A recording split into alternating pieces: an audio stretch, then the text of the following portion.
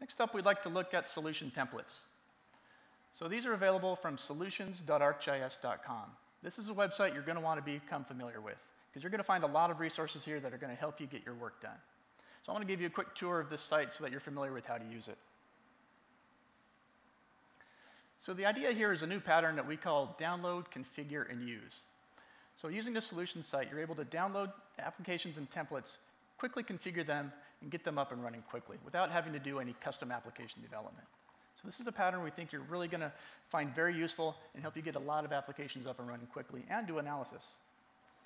So this is all powered by that solution site again. It's at solutions.arcgis.com.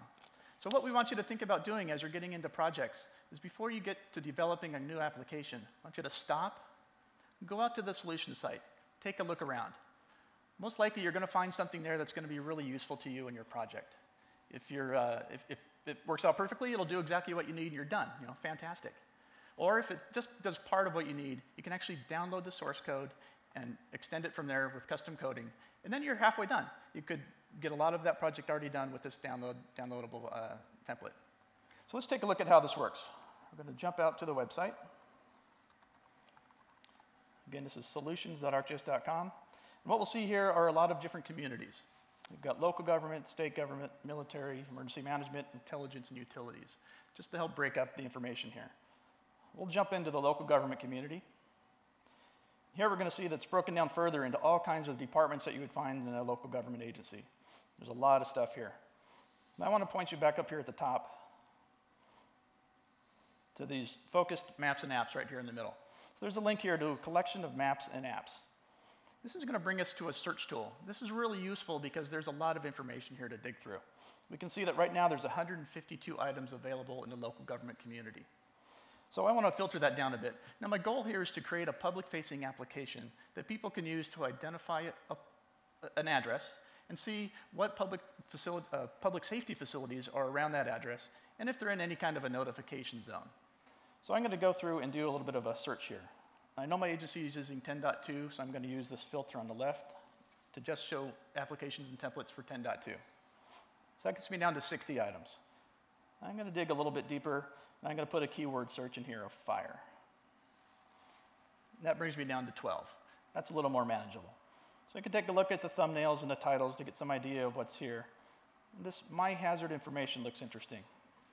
So we'll click on that thumbnail to get the details page about this application. All right, so we've got a really nice description here of what this application does. There's a try it live option, it's uh, 10.2. Uh, how to download. So there's actually a link here to GitHub down here at the bottom to get the source code. So you can download the source code and extend that, as I mentioned. Or you can just download this application as is, configure it, and use it. So support, it is a fully supported application. So you can call Esri Tech Support if you get stuck and need some help. So this sounds perfect. Let's take a look at that try it now, try it live option. We'll click on the thumbnail to fire off the application. It's going to bring up a little splash screen to tell us about the app. Uh, the magnifying glass is a search tool, so you can type in an address. We'll go ahead and use the example one here. Select the correct address. It'll find that point on the map and zoom the map to it. This is great. So it's going to drill down through the layers that we configure and bring back some information for us. So we can see that we are in an immediate evacuation zone. That's good to know. There's also uh, information here about us being close to a hazardous facility, where the hospitals are, police stations, fire stations, et cetera. So these um, tools actually have this nice little directions uh, uh, icon. So if you hit this icon, for example, for the hospital, you actually have to click it, it's going to locate that hospital, take your point that you put in the address for, find the quickest directions to that, point, that facility, actually draw it on the map, and then bring back turn-by-turn directions for you so you know how to get there. So this is perfect for what I was looking for. So I can go ahead and download this template, configure it with my data, and get it up and running quickly.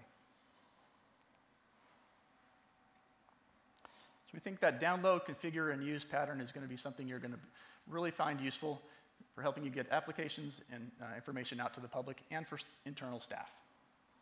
So it's not just about web, web applications, though. There's also data models, editing templates, uh, mobile application templates. There's a lot of things available through that solution site. So I wanted to make note that there is a dedicated team here at Esri that manages and builds these solutions for you. And they're always working on new ones. So that example that Harry just showed of the target hazard analysis tool, that was a brand new one available at 10.2. Also of note is that these all have full documentation and they're all supported by Esri technical support. So as you're deploying these, if you have run into any problems, please call technical support to get some help.